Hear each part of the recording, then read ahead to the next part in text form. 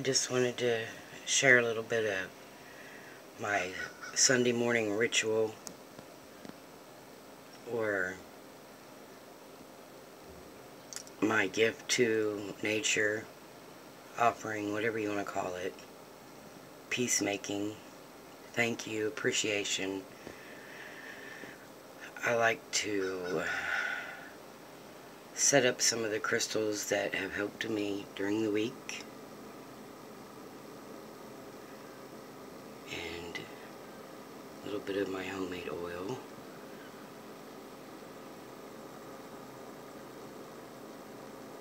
And some herbage, which kind of includes three different types of sage and sandalwood and pinch of mugwort, some vetiver, um, I think I threw some chamomile in there this morning because my nerves are a little on edge. And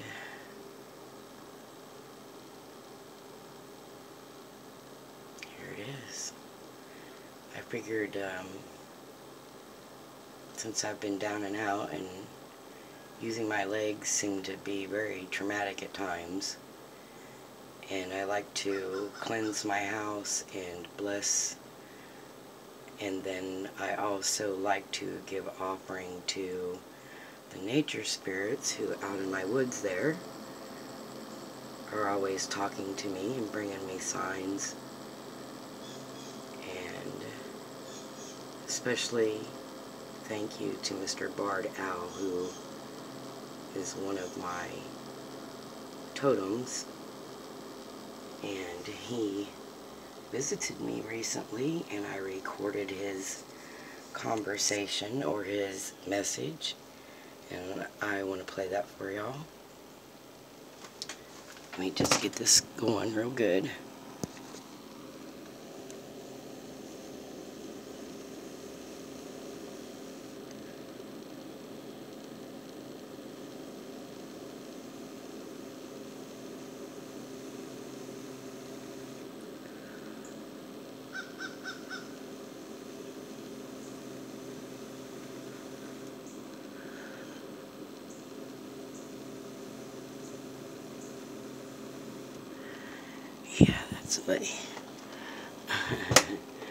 Okay, so here's the message from Barred Owl. Sorry about the crappy recording.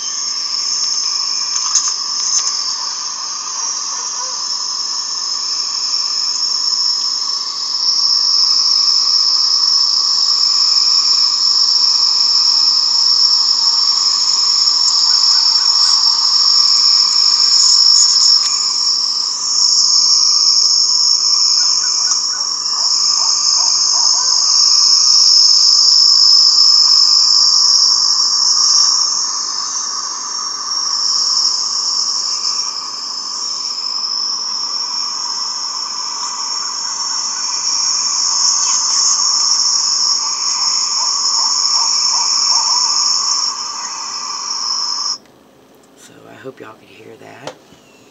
It was pretty groovy.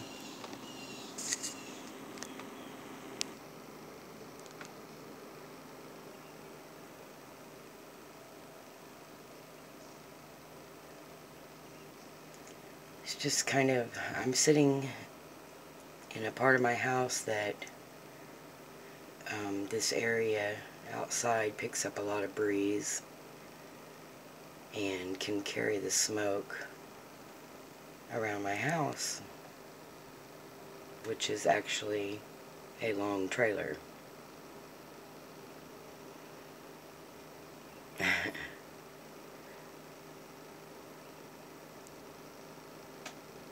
And so I was hoping to draw down the sun a little bit this morning for everybody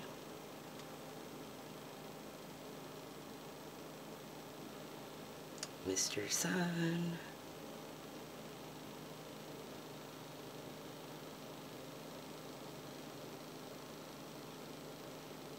Well, yeah, we're working on it.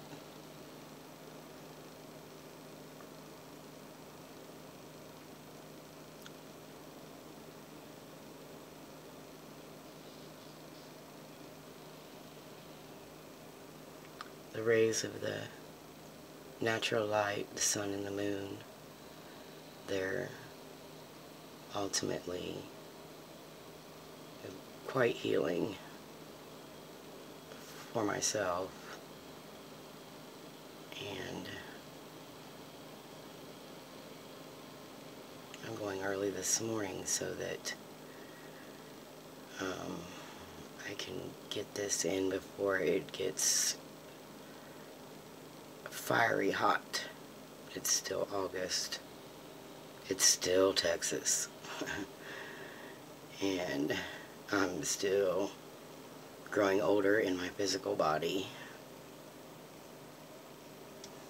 Even though I feel pretty young in my mind. I guess if I was to give myself an age, I would probably say I'm 14 years old. um, when I was 14, I was I was on fire. Well, so anyways, you see that area there where the sun's coming through the trees?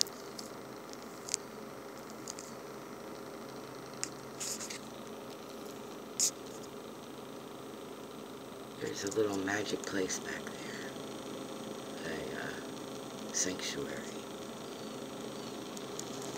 That I kind of built. And uh, right through there, which you can probably barely see, is a uh, fairy door. Yes, fairies exist my world.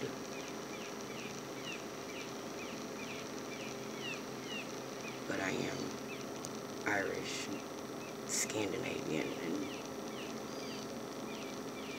English. So, ever since I was really little,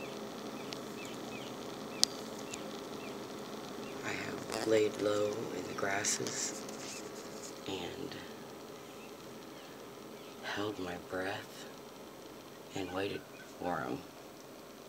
Of course, they played many tricks on me, but uh, I've never been able to see one yet. Come on, Mr. Sun. Come past those trees.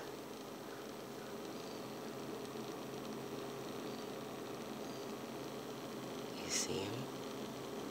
He's working on it.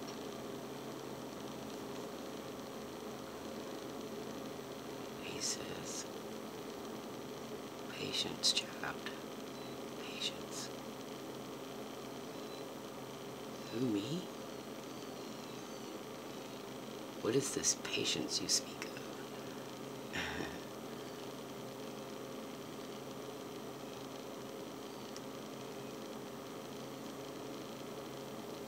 I see so many beautiful things, and I use everything to divine messages from the mother. Like right now, there is a heart-shaped peace sign in that tree. Or there's a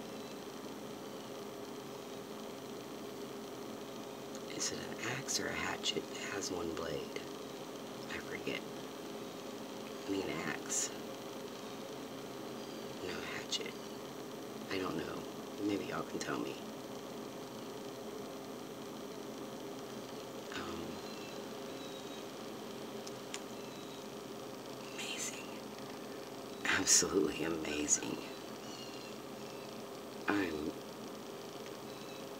just entirely in love with the things that I'm seeing this morning.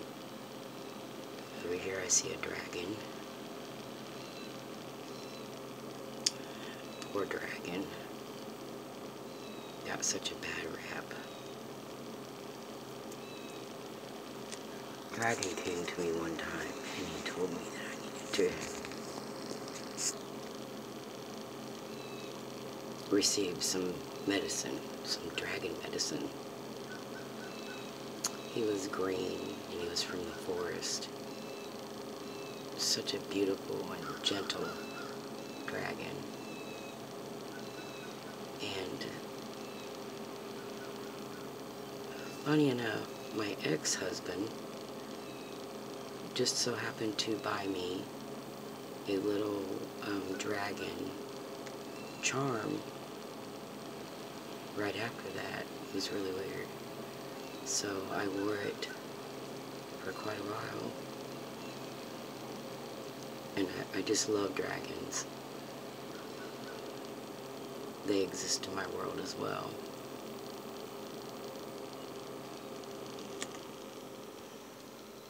Ah, uh, now we're going to draw down the sun. If you see what's on this recording, the rays of the sun coming down. Have you ever stood out in nature under the sun or the moon and pulled those rays within your heart? Have you? It's an amazing feeling. I don't know what other people call it, but I call it drawing down the sun or drawing down the moon. Which is what I'm about to go do this morning before breakfast. And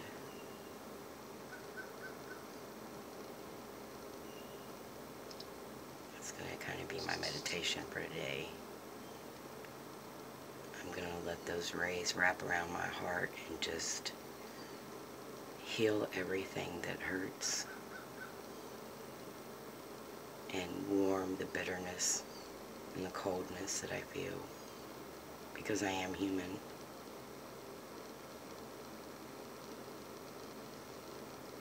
There's one thing I will say about myself is I'll be the first one to admit have a lot of flaws. I have a lot of learning to do. I have. I've never made a, a, mistake, but I have made many bad choices. I don't believe in mistakes.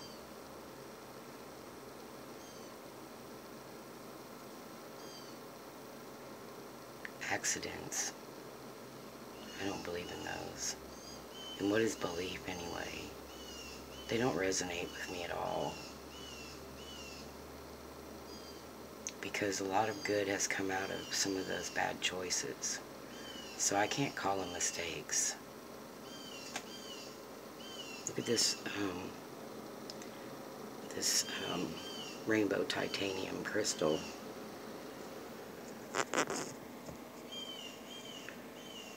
It's been my most recent Wish I could get a good shot of it.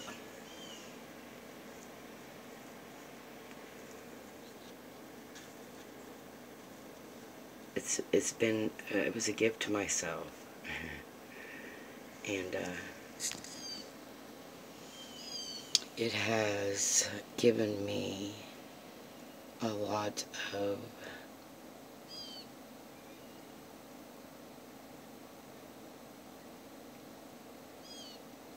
what's the right word? It has shed light on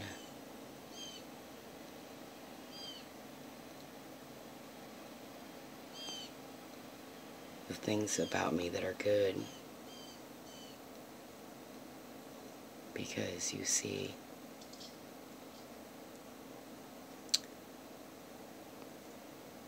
I felt like such a disappointment to my dad.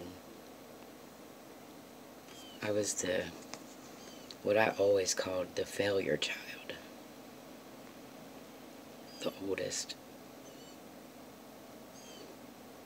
The fence tester. The questioner. The runaway.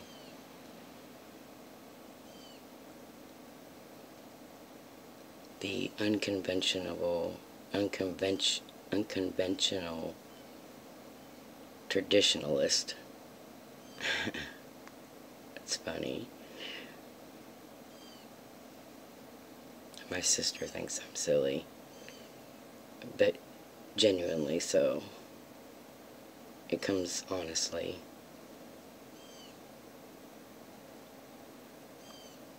And that's something else.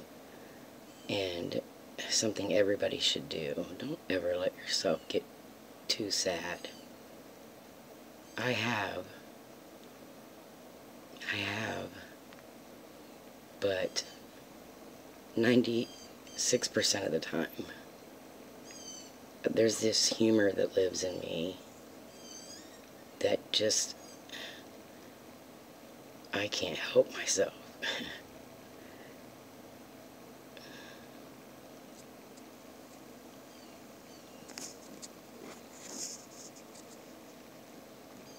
So, I always have a sense of humor, and I hope that sometimes in my comments that people are able to pick up on those sense of humor uh, bits about me. I like to be very goofy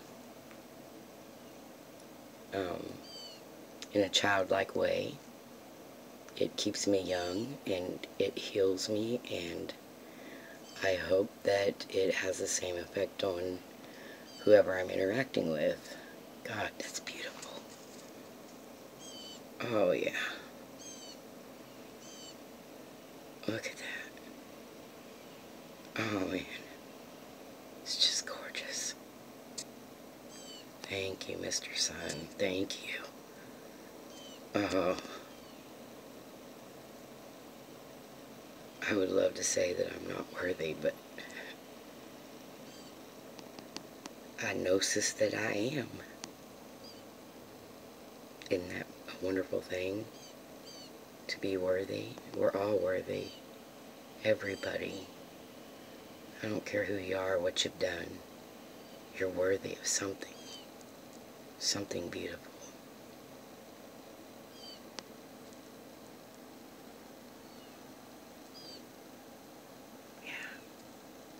And there's one more thing that I wanted to show y'all.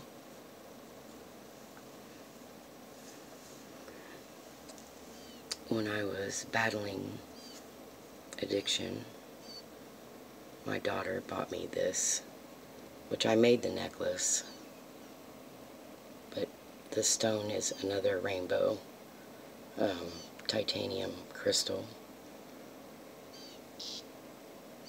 Which this one is infused with, I think, titanium.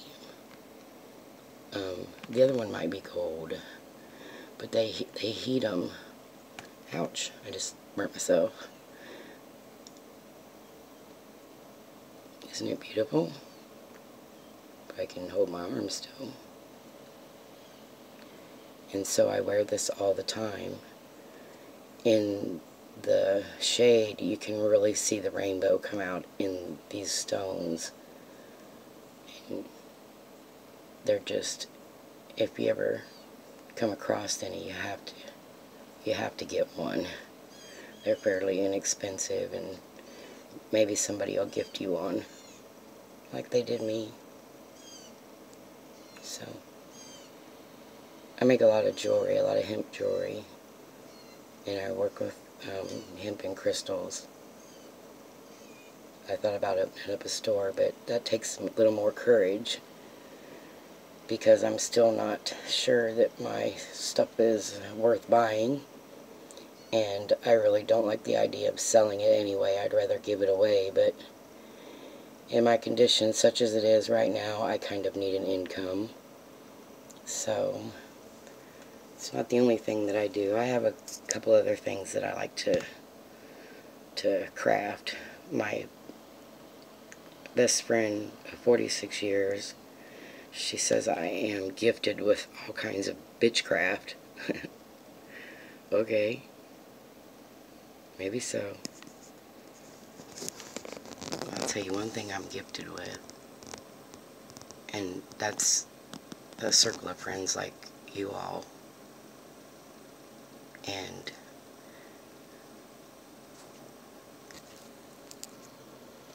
anyway, I can't make this too much longer because it takes forever to upload, but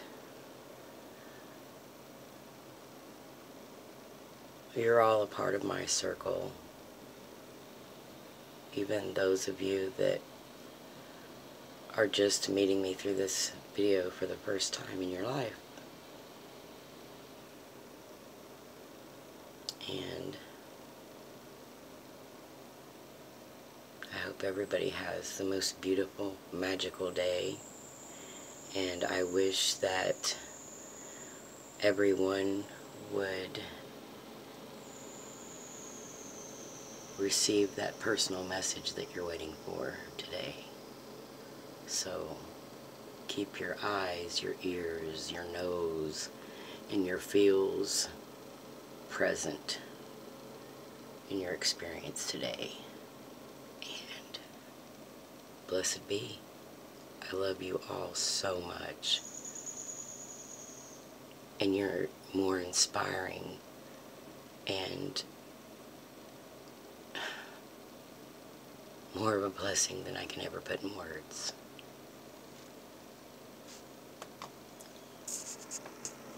Till later.